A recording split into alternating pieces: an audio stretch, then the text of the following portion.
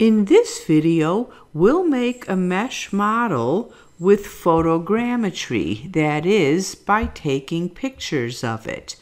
Here we have a glass head. It's very shiny, and shiny objects don't photograph well, so they need to be covered, and you can use tape or water-based paint, or as what I've done, cover it with flour. You also need to put it on a contrasting background. I've used birthday party wrapping paper here. Take photographs of the object by walking 360 degrees around it at two different levels. Take the photographs every 30 degrees. You can use your smartphone or a DSL camera. The higher quality the camera, the better the photos and the better the resulting capture. Once you get the photo set, you need to examine all the photos to make sure that they are consistently lit and crisp and clear.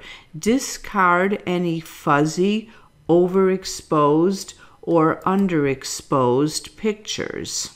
Then open Recap Photo and upload the photo set.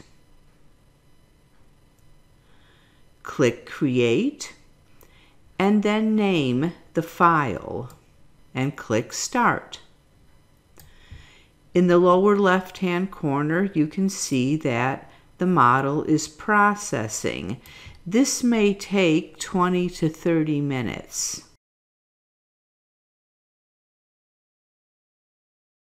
Now click that graphic in the lower right of the larger graphic to go into the editing space.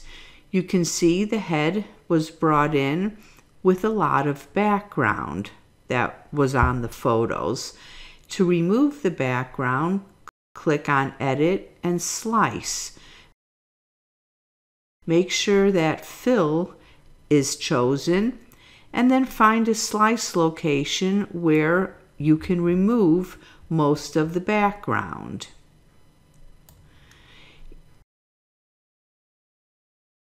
Notice how the bottom of the head has been filled, that is closed.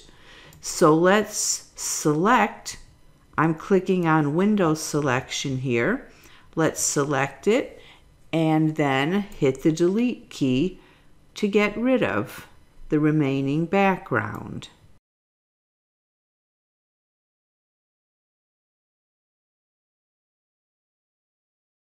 The model is textured and we want to see the mesh. So click on visualization and then the mesh icon and you can see it's very dense. So we need to reduce it to make this importable into another program.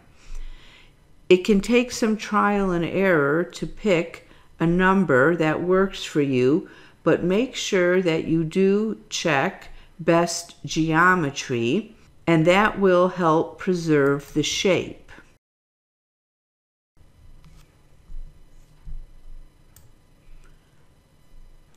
Now click Decimate All